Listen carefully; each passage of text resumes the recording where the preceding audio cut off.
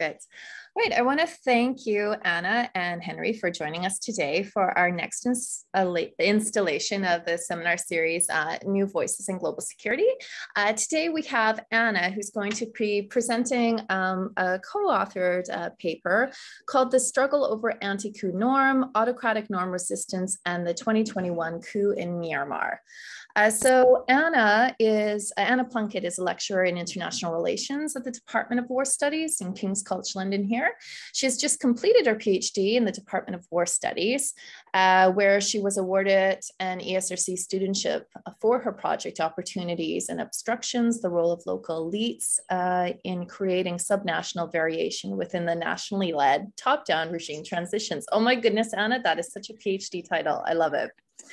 She holds an MA in post-war recovery studies and a BA in politics and economics from the University of York. And alongside her academic work, Anna has worked as a strategic consultant and human rights researcher with several post-conflict environments, building capacity and sustainability within small organizations. Her research focuses on the role of local elites as mediators and obstacles within national led regime transitions. Uh, she's interested in how the presence of such alternative authority uh, structures um, uh, in, or uh, sorry, authority structures impact community experiences and national political processes. Her work has primarily focused on the ongoing regime transition processes and localized conflict within Myanmar. She is presently working uh, to develop a comparative study of local elites within post-conflict regime transitions. So Anna is joined today by Dr. Henry Myrttinen, who will act as her discussant. Uh, Henry is one of the leading experts on men and masculinities in the context of conflict and peace building. Uh, and he's currently, I believe still currently, a co-investigator in the Masculinities and Sexualities Research Stream for Gender Justice and Security Hub at the London School of Economics Women, Peace and Security Center. He has worked extensively on gender conflict, transitional justice, and peace building, including uh, the country of Myanmar, uh, a number of NGOs uh, and international organizations. His uh, research is prolific um, and uh, he's developed key state of the art publications on the subject and can be found in uh, numerous international ju journals and edited volumes. So I want to thank you both again for um, being able to, to be here today, a part of our New Voices series. Um, so the audience themselves, I want to also welcome you and thank you very much for, for attending and um, listening intently in an overcast um, afternoon in London or hopefully sunny wherever some, some of you might be in the world today. Uh, so the, the uh, the format is going to work that Anna will now present for about 20 minutes um, sharing slides, and then uh, we'll hand the floor over to Henry for discussant comments and commentary before we open it up to you, the audience, for further questions or comments. You can either ask uh, live by raising your Zoom hand, or you can type in the question answer box and I can ask or pose those questions to Anna. But without further ado, Anna, I'm going to hand over the virtual floor to you. Thanks very much, Amanda. Right, I'm just gonna share these slides. Go. Um, right, so thank you very much for having me. So this is um, really a first reflection on the coup. So um, as Amanda said, I recently passed my PhD uh, looking at very much the local dynamics of, of conflict and democracy within Myanmar.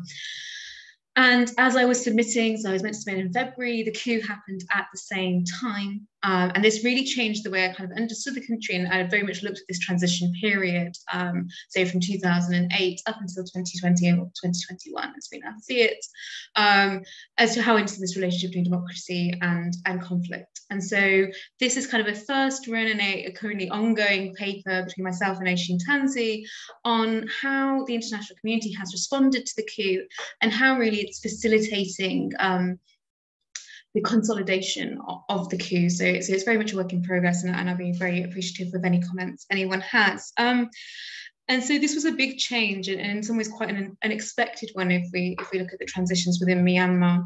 Um, and so really, what we're looking at here is is the question of the you know what what is the question of how has the international community responded and how has the international environment affected the developments that we've seen over the last almost year now since the coup? And, and we're arguing that it really has enabled the consolidation of this authoritarian environment in the post-coup period and allowed the levels of repression and the levels of, of consolidation we're seeing within the Myanmar post-coup state um, so really what we're looking at is what's happening in Myanmar and to what extent can we hold the international community responsible for, for the outcomes that we're beginning to see appearing um, as we get further and further away from the coup that happened in February itself. Um, and we argue that in the wake of the Myanmar coup, there is a supportive environment has been created for this consolidation of authoritarianism within Myanmar. And this is achieved through a very limited and inconsistent application of the anti-coup norm by Western states and by the international community, but it's been further enabled by the sponsorship and protection by norm resistors, um, in this case authoritarian regimes, focusing here very much on China and Russia due to their primacy in, in the UN Security Council and as norm resistors more broadly. Um, but also, and I think one of the more surprising findings, especially over the last few weeks, has been the role that ASEAN has played in developing the anti-coup norm um, within Asia, which was uh, in some ways unexpected if we look historically at, at what ASEAN has been engaged with. Um, so this strategy compares uh, the strategies of engagement that democratic norm defenders and norm resistors have engaged with, um, focusing on these kind of core countries and looking at the role of, of regional organisations in that, and also assessing what the implications for Myanmar going forward when we look beyond the post-coup period.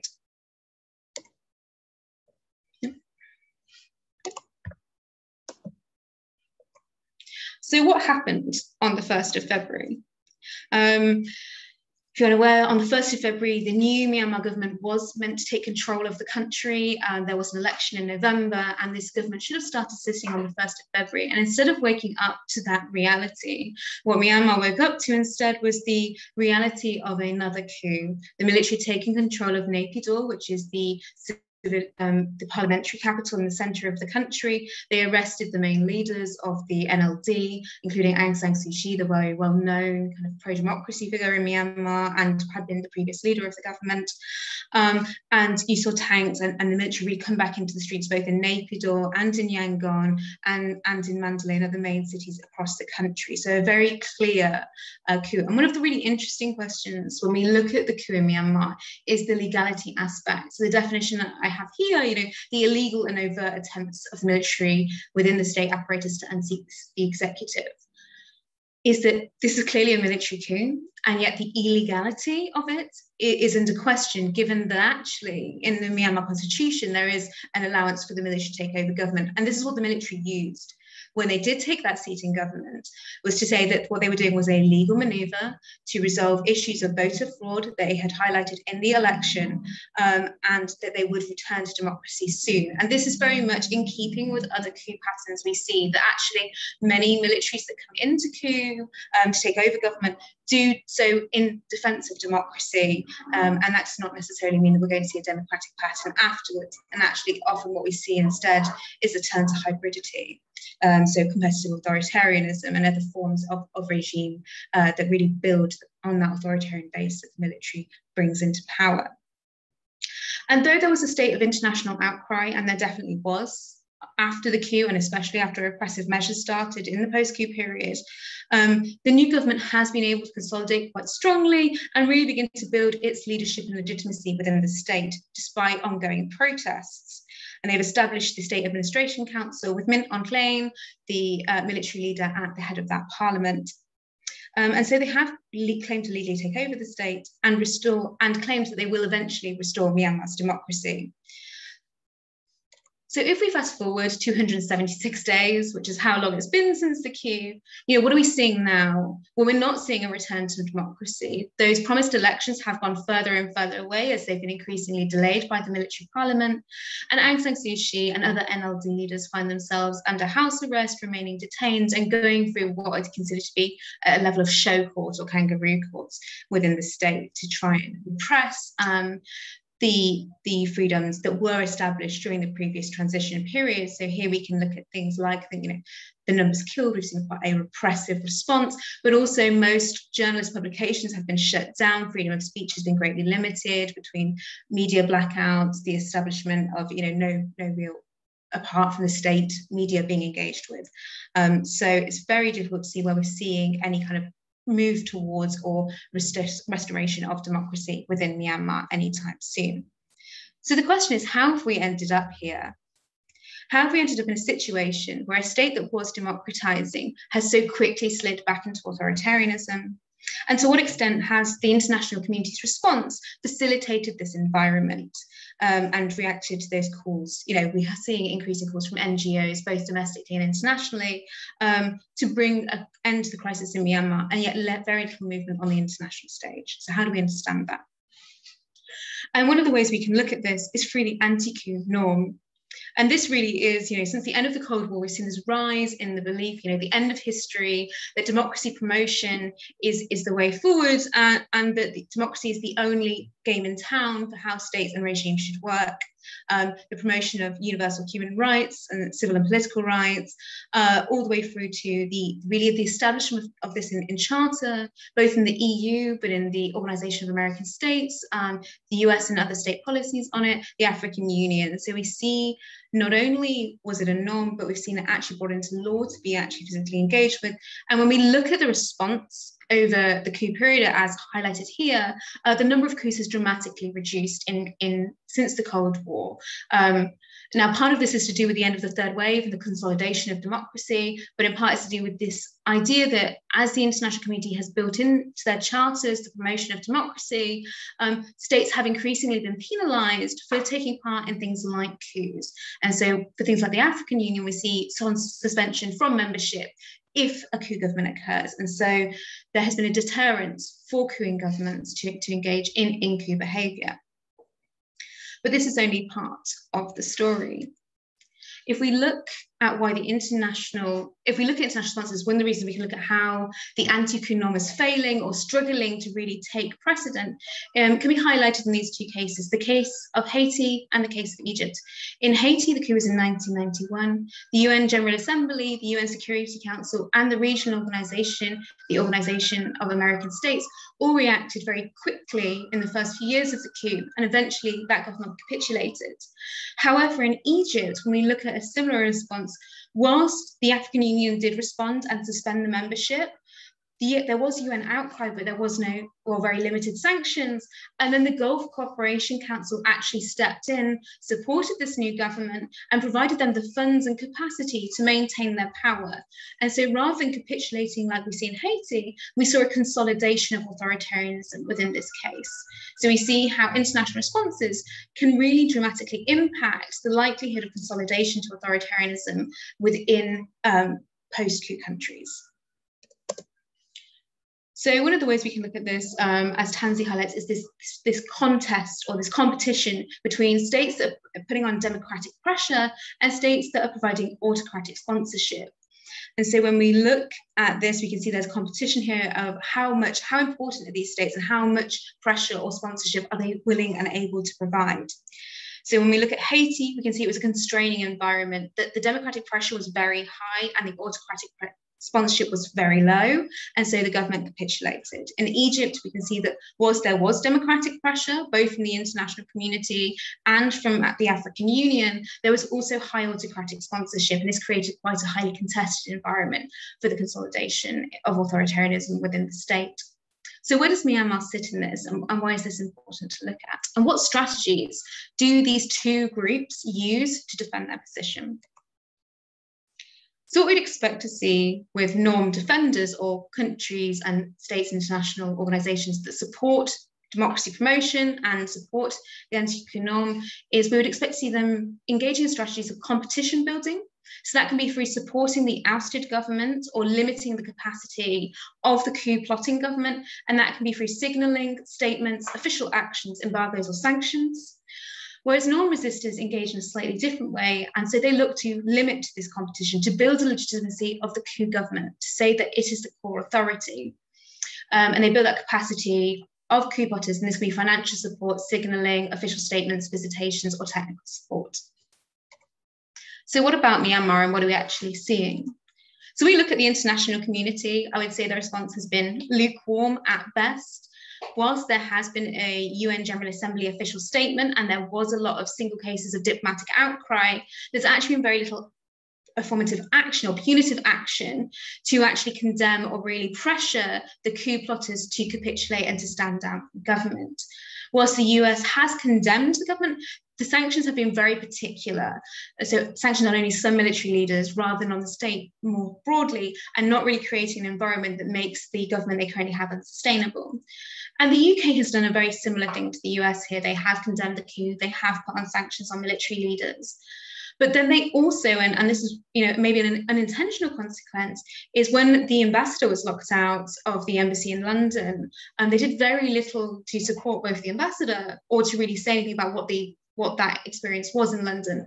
And so we can see there's almost an unintentional diplomatic failure that they legitimised the current government, the coup government, by not acting in, in favour of the ousted government. Um, when we look at China, um, so when we move to the norm resistors, we see a more kind of consistent reaction. China clearly uh, have focused on it. They have continue with their view on limited in engagement in domestic issues. So they did acknowledge the coup, which was kind of in, in, its own way a little bit surprising, but the response has been muted support. They have blocked UN sanctions, as they have done previously in other coups. Um, they have agreed new trade agreements, but maybe not as much as we would actually expect, given China's close ties to Myanmar and its vested interests. And this kind of shows that actually stability is the main priority for China, that they're kind of concerned about this government and they want to make sure that whilst their, their interests interests are defended, they're not overly supporting. Whereas when we compare this to Russia, we actually see a very different reaction. Again, another autocratic sponsor, another norm resistor, but they have blocked all UN action in, in Myanmar, and they've become a much more active and, and engaged supporter and backer of the State Administration Council in a way they hadn't been previously. So they've really developed their engagement with Myanmar, and this has included visitations to and from Russia, red carpet treatments, and high levels of signaling that we didn't see in the previous regime or, or previous periods. And Russia's really coming out as a backer and authoritarian sponsor of this regime.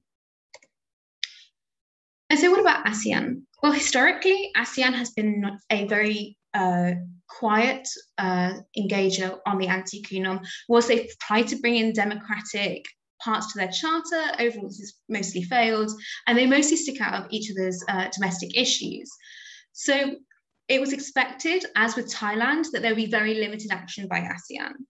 But actually, what we see is they are engaging, they are developing um, some support for the anti coup norm. In April, they agreed a five point consensus with the State Administration Council to limit that power and to see the return to democracy. And when the Myanmar military refused or failed to adhere to this, they then snubbed the military leadership in October 2021, and they were not invited to the ASEAN summit at the time. They would only accept a civilian leader.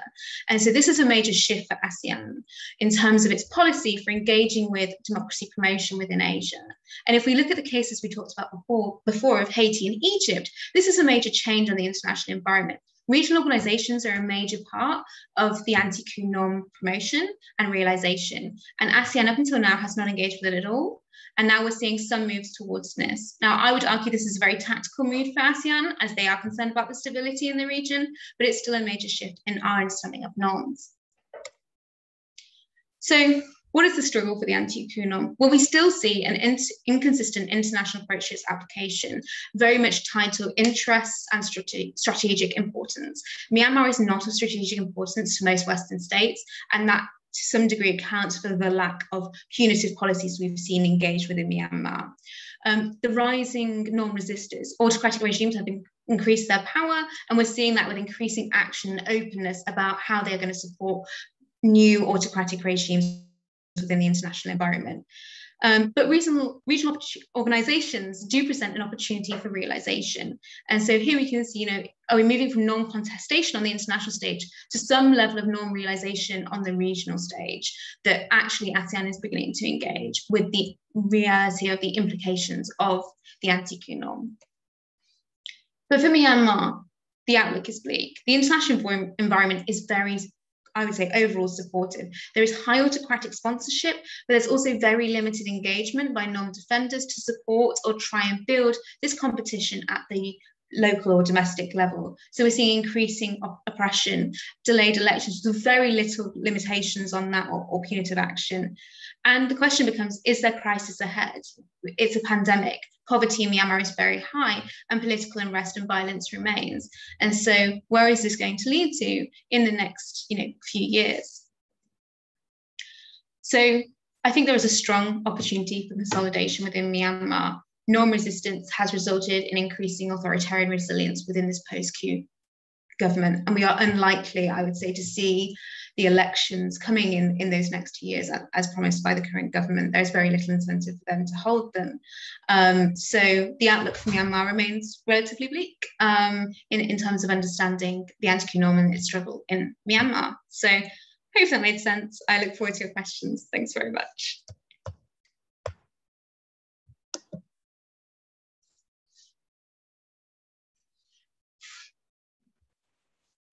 Great. We can have um, Henry just jump in if you'd like with any sort of comments. And then, yeah, audience, please do either ask live or hi, Mervyn, you're here too. So Mervyn live as well too. Um, yeah, but Henry, the floor is yours right now. Great. Thanks very much. And um, I've got, um, I think, five points that I want to maybe comment on and just by, by way of background. Um, so I, I've been working in and on Myanmar, but mostly sort of from the uh, kind of in, looking at internal actors and working with internal actors. So my um, my view is more one from Myanmar out rather than from outside in.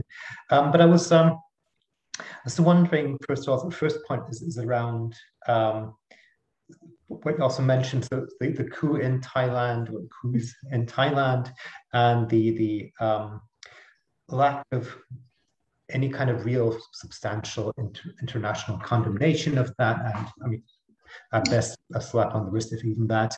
And even though there is local resistance, um, local protest, there's also probably a silent majority who are kind of saying, okay, this is fine.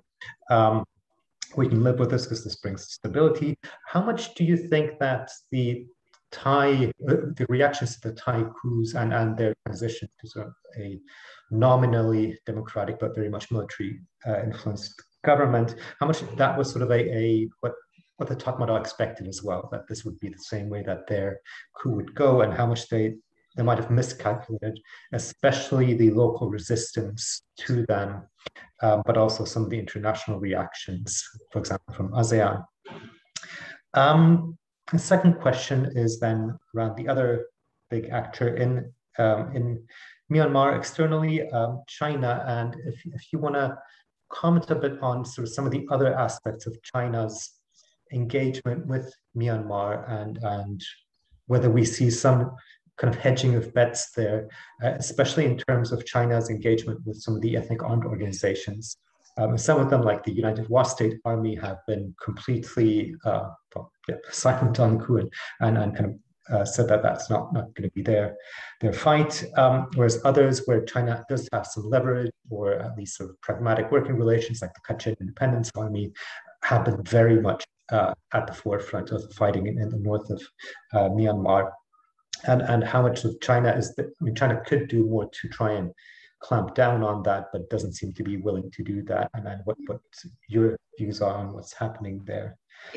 Um, the third point would be around the national unity government. And mm-hmm. the, the Tatmadaw timed its coup well, so they, they didn't really become the, um, or didn't have the, literally didn't have the time to become the government.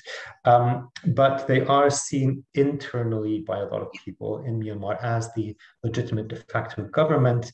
Um, but for external actors, that's been a difficult sort of entity to engage with um, as they didn't get sworn in as the, the official government. And um, kind of from what I've heard from discussing with some of the international actors in like uh, the, the, UN system um, and, and the donor governments, there is also then this concern that with its de facto declaration of war, the NUG has um,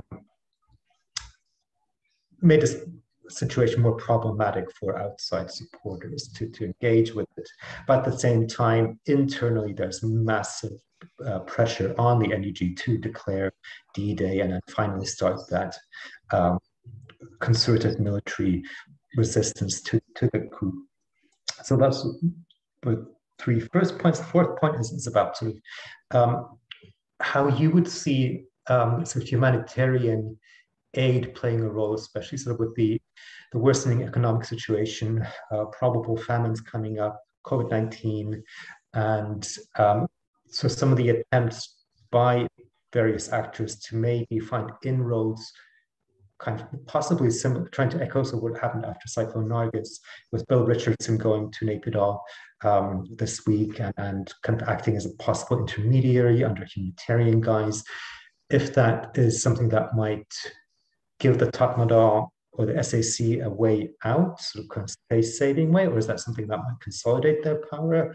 Um, and, and how sort of that might play out um, and if that might be a possible solution to this. And, and lastly, question would be, um, you, you said that there's a strong case for consolidation in Myanmar and how you would sort of see then, I, I would fully agree with you looking at, at the outside actors, there, there's no one really seriously pushing back.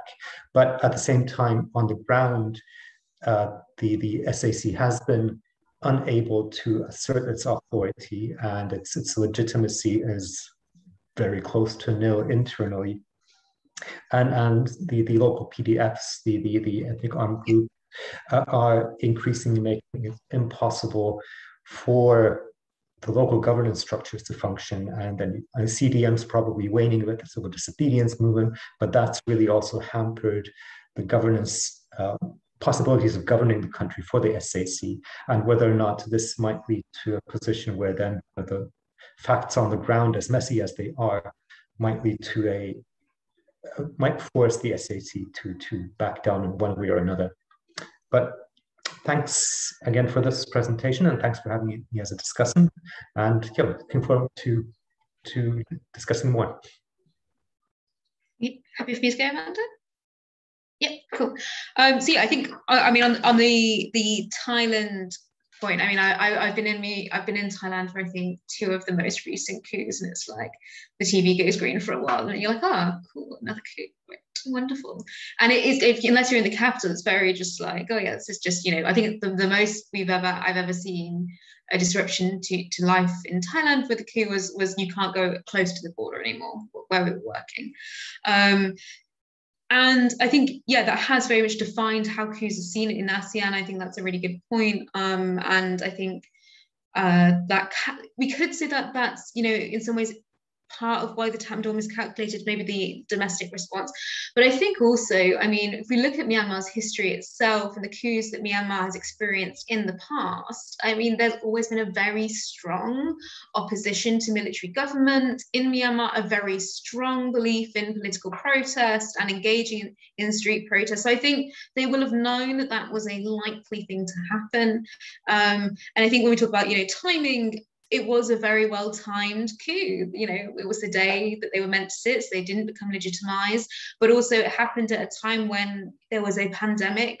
There was, you know, when we talk about the building of Naypyidaw and the isolation of the capital, um, there is a lot there to suggest that you know this was a very strategic move, both both long term and, and short term. Um, so I think there, there was a miscalculation there in terms of how maybe the international community would respond and, and how it would be seen, um, because it wasn't just easily done for it. And ASEAN certainly haven't sat down and just, just allowed Myanmar to get on with it. Um, but at the same time, I think there is a historical precedent for going out on the streets and really protesting when the military decides to overstep its boundaries and, and leave barracks. Um, and I think uh, I think an expectation that that wouldn't happen is unrealistic. I think it's more that they knew this was a good opportunity given the international environment around COVID, given the government hadn't been legitimised yet, given how it was going to go if, if the new government came in and, and the space they would sit in. So I, th- I think there was a miscalculation to some degree, but I don't think it was that much about that expectation on Thailand. I, I think it's about ASEAN. I think it's about, you know, they, they timed it not so they didn't have internet. domestic protests. I think they always expected those. I think they hoped that COVID would limit them. And I think they hoped that COVID would limit the likelihood of intervention or interaction by the international community. Um, 1.1, did that answer your question? Yeah.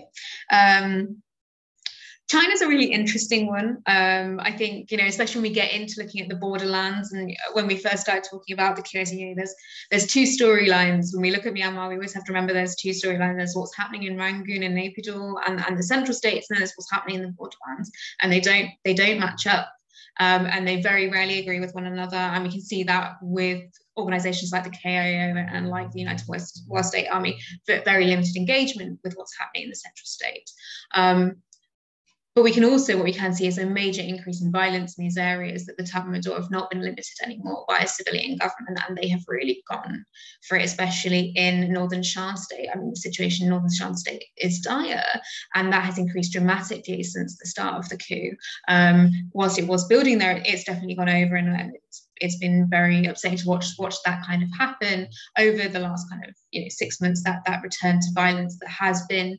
Whilst the NCA was very limited I think um, you know it did stop a lot of the direct violence by then um, but now we see this kind of engagement in this very violent uh, very direct policy. Um, and China's engagement in that, I think, is very interesting because obviously China's been seen as a partner for both funding international organizations but also um, sorry, funding that the military regimes or, or the uh, local elites within Myanmar, especially when they're not happy with Yangon. Um, and we've definitely seen that, that when Yangon hasn't done what China's wanted, new funding has come into places like the United Wa State Army. Um, so I think China's strategy this whole time has been stability and capacity. It does not want increased violence on its borders. It wants its investment projects. A lot of its electricity for the West is based in Myanmar. It's signed I, a load of memorandums the year before the coup happened. So I think there is incentive there to, they will support the new government if the new government is able to deliver on the financial investment that China has made. If Myanmar's current government is unable to secure that, I think China's, you know, its, its whole aim is to, to make sure it's, it's network towards the Indian Ocean is secured. Um, so I think I think it's you know that variable relationship that China's always had with Myanmar, which is tacit support, but underlying with this idea that on, on the delivery of, of certain objectives. And if that comes under threat, then I think that relationship will, will fall apart as it has done in the past. Um, on your point on um, the national unity government, I, yeah, I mean, I think this is a major issue, isn't it? Like that, that what's happening domestically and the support for the NUG domestically in terms of that government has now been sitting for nine months. They have an online government. Um, they did do a swearing in ceremony and they are seen as legitimate in large parts, if not all of, of, Myanmar, but from, from the civilian point of view, versus the international community who seem to not engage with them at all or don't see them as legitimate. And I think this goes back to the pressure that the NLD and Aung San Suu Kyi faced during the previous transition period, which is what the domestic community wants and what the domestic audiences want and what the international community want to see are completely different things. And so trying to please both of these audiences is very difficult when they don't have full control of the government. They didn't have full control of the government during the transition period, and they definitely don't have control of the government now. And so we're stuck in a situation where, you know, I think a lot of, you know, they don't want to go to war. I think they want to focus on democratizing, they want to focus on building the capacity of Myanmar state. And yet what the domestic audiences want or in some ways need to see is, is this legitimization, this push against the military, because what they want from democracy is the end of military rule. Um, and so then we see this, this push towards having a more federalized government um, and a more federalized military, having a having that federal army, having the PDFs engaged, retraining, so that the only military they have is not the military that keeps taking over the government. Um, so I think I think the NUG is stuck in a very difficult position of how best to, to legitimize. Do they focus on the domestic? Or do they focus on the international? And I, I think they feel, or it, it, definitely seems from, from the people I've been speaking to, that, that they don't feel like the international community is listening to them. And I mean, to be fair, the, the evidence for the international community is, is pretty poor at this point for the, for the NUG. And I think that is that is in some ways an error on, on the international community's point. This government had been elected, had been ready to be sworn in, and it's made up predominantly of people who were in government beforehand. Um, so I think there is an issue there, and it shows this issue around this legality issue of like, what is an ousted government? Where do they sit? And I mean, this this always goes back, and I think you know, the more you talk to the domestic people, the more you have this issue. And this is exactly like 1988 all over again, um, and the frustrations that that has built between the domestic audiences and the international community. Um, uh, on the issue of the humanitarian aid, I mean, yeah, as I said, like, you know, we know Myanmar is heading towards quite a serious crisis. The, the, the level of poverty, especially in Yangon, where the protests have meant there's been very little um, industry over the last few months, where people haven't been at work, it's major. In the war zones, where the, the humanitarian aid is now no longer getting through and has been needed for years, um, is a major issue. So, you know, I think we can deny the, the crisis and, and the very um, concerning point we've gotten to in, in terms of Myanmar's need for humanitarian aid, very much like after Cyclone Nargis. But I think what we cannot deny, having watched Myanmar over the last 10 to 20 years, is the politicalization of humanitarian aid within Myanmar and the provision of it. And we look at the Rohingya crisis for that and how long it took to get any international involvement in Sittwe. And still, when that has come in, the risk that international community, you know, international workers have faced, the deaths we've seen there, the limited engagement that has been provided. Um, and then on the other side, you know, when we moved, when the most recent transition period happened and a lot of humanitarian aid moved into the center of the state to try and facilitate that movement towards democracy, it took a lot of aid away from the conflict zones where it's really needed. Now we're struggling to get back in and build that humanitarian aid and that capacity in those environments where people really need it. So I think there needs to be a question there over you know, both a short-term and long-term strategy, because it is politicized.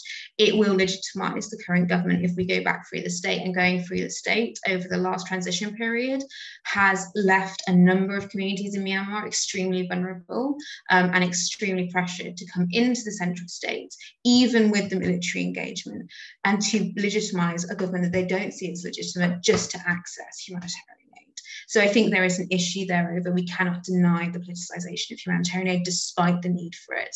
And I think that's a, that's something that we need to tread very carefully over. And I know a lot of international community members are working very hard to provide the aid whilst trying not to legitimize that government. Um, but it's a very, you know, that's a very hard line. And at what point, what what when do we tip that scale? And I, I, think that's a big question, as it's always been in Myanmar during crisis times. Um, so I don't think there's a tidy answer there, and I, I don't think there will be anytime soon, sadly. Um, and in terms of legitimacy for the for the for the uh, state administration council, I mean, I completely agree. Like they're not, you know, they're not popular within the country. Um, does that mean they won't survive? Think evidence would suggest from Myanmar's historical perspective that that has very limited impact on their survival. Um, the military has a very strong hold over the economy, it has very strong control over industries, and when needed, it can produce a large number of people to protest in its favour, as we've seen throughout Myanmar over the last few months. Whether they are actually in support of the government is a completely different matter. Um, so I think, you know, whilst there is a grave question over the legitimacy of this government, I think there is quite a possibility that it will become consolidated. Um, and I think what's most likely to happen is what happens in a lot of post coup and has happened in Myanmar in the past, which is we will have the election, but the USDP will be repackaged. Will the NLD be allowed to, to engage in those elections? I don't know.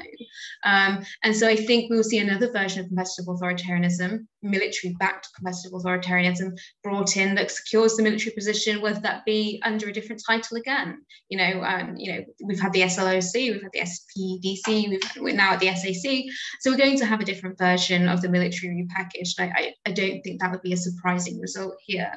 Um, the role of the ethnic groups and, and civil disobedience movements, I mean, have been very important and remain very important in really articulating the opposition to what is happening in Myanmar and facilitating that. But I think and I think it will remain until we can come up with a, you know, the national unity government is working towards the issue of the federated army, is this issue around the ethnic groups often feel like they're only noted during times of crisis. And then once we leave times of crisis, they are not important anymore to the broader public within Myanmar. And so this issue of that two story of how do you bridge that gap when, when actually they've had very different experiences of state throughout. Um, so I think, you know, are we, are we going to see the uni- unifying of those ethnic groups and the move towards a, a stronger opposition uh, to the central state in Myanmar, I think is highly unlikely because we've tried and well, you know, there have been so many attempts to unify the rebel movements within Myanmar to really build an opposition to the military as it is right now. And all of them have really struggled because actually these movements are very entrenched. They, you know, most of them are plus 60 years old at this point. Um, and they so they, they build on their own their own legitimacy there. And in this goes back to my own work on like, you know, these groups in some respects are built on survival. Um, so I think there isn't an opportunity for them to engage, and they are engaging. They are training people. They are bringing people in. We've seen a surge in the number of people engaging in these ethnic armies. But is that going to present a serious threat to the military, given its size, given its capacity, given its entrenchment within the central state? I think it's unlikely. Great. Thank you, Anna. I mean, I have um, a question. Henry won't be surprised where this question is coming from because it's embedded in my own curiosities too. Um, you've mentioned, you've touched a bit on political economy aspects of, of the coup and of um, I guess I guess my my question around that would just to be to probe a bit further in terms of the external actors you talk about. I wonder how does the international market and market-based actors play in influencing in, in your kind of your theoretical or conceptual framework of you know which way Myanmar is going to go. Like we, as an external actor, how does you know market actors play? And then I just wonder, and this could be minimal, but I wonder um, what role, if at all, does um, diaspora populations um, in other countries also play in in pressure one way or the other? That's um, so yeah, just my two external actors to to think about. Yeah, definitely. I, and the market actors was really, I think, a much, it's an increasingly interesting question because, of course, we've seen so much more aid and so much more international engagement in Myanmar in the last transition period when we really opened up and engaged much more broadly than we'd seen previously Myanmar, which has been such a secluded and isolated country. So there, there's a big question over how the market's going to react. And I mean, Norway's Telenor's just pulled out. That was its answer to the problem. It wasn't because the military was asking it to record, to give information that it wasn't comfortable with, it pulled out. And I think this is this is the problem for for Myanmar is a lot of people, a lot of organizations, I would say, in, in, a lot of ways, preemptively invested in Myanmar in the hope to sustain and build on that democratic dream and, and development of Myanmar. And um, now they're stuck in a situation where the state hasn't democratized, it is highly military, it's remained highly militarized, and it's now a highly repressive, highly militarized state. And so, do they hope that that ends, that the, the promise of elections goes ahead, and we have at least some form of, of competition within the state and, and some move towards a more civilianized government again, or do they pull out early on and then leave it? And, and then we go back to the question that I think Henry was raising, which is like, at what point is that, are we at, adding to the kind of humanitarian crisis that, that could appear? Um, and so I think a lot of market actors are left in a very difficult position with Myanmar. They want to invest, and there's a big incentive to invest as well um, I wrote a paper on um, the use of genocide in democratization processes and how the economy was being used as the kind of carrot to bring the international community in and legitimize what was happening and, and kind of pulling a wool over what was happening in other parts of the state. Um, because actually Myanmar is highly underdeveloped, there's a lot of investment opportunities from a lot of different states and a lot of different organizations. Um, that if they, you know, it's almost as that last frontier, and if they don't do it now, then China, then Russia will invest and that opportunity won't be there eventually. Um, so there's definitely incentives to stay, but then it becomes a question of, of how long. And I think it, Tel- Telenor is a really interesting case of like how brands uh, and international financial international actors are, are making decisions to pull out and, and, a number of the banks I know are considering similar things of how long do they stay simply to do with the stability as well so I think I think there's a, a big question over international uh, market actors in, in terms of Myanmar and how that develops. And I think we'll see more of that over the next kind of couple of months as we see whether these elections happen. Because I think right now a lot of people are just waiting to see. Are we seeing the end of the repressive period and a return to some level of stability? Or are we going to see uh, another uprising happen? And if we do that, then I think more and more will begin to pull out. Um, and diaspora, I think it's it's an interesting mix uh, in Myanmar. Um, so you have refugee diaspora in in Bangladesh, obviously, but also in Thailand. I mean, there's almost 100,000 Karen that have been in Thailand for a very long period of time, um, and Shan and Mon uh, communities there from the from the war zones um, on along Myanmar's borders. But then you also have um, you know a lot of Burmese in in Singapore, in Australia, in the US, and in the UK, Canada, um, and they have been very uh, active in the support of the national unity government in really pushing for the international community to support and their countries to support the national unity government to understand the complexities of the conflict and, and the crisis in Myanmar. Um, but with and I'd say sadly, but with limited impact. So that the funding is there, the support is there, and the, the diaspora have definitely been a very active role in, in terms of helping support communities and provide humanitarian assistance within Myanmar and, and funds to the country um, where people are struggling. Because obviously, a lot of teachers and doctors lost their jobs for engaging within the civil disobedience movement.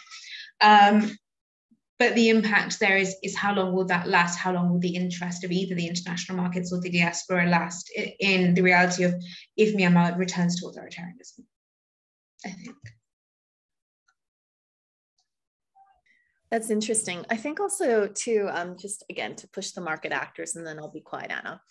Is um, you know there we see there's a lot of uh, I like how you describe frontier, right? Because there's a lot of um, interest in in capturing, like in in security and defense technologies, right? Um, there's a mm-hmm. lot of interest in being in these spaces as spaces for innovation in their own, developing their you know various different defense mechanisms or whatnot. And I just wonder, you know, I think so this is my you know political economy hat on is just the underpinning causes for actually sustaining this sort of crisis right? Who is benefiting from this crisis and you know potentially looking at some international security actors who might have incentive for various reasons. And i wonder it, it, if you've looked at that or if that's uh, if that even exists in myanmar yeah, I mean, I mean, we can, I mean, we can definitely see that with Russia, for instance. They've invested so much in the last couple of weeks in providing monitoring equipment, new innovative um,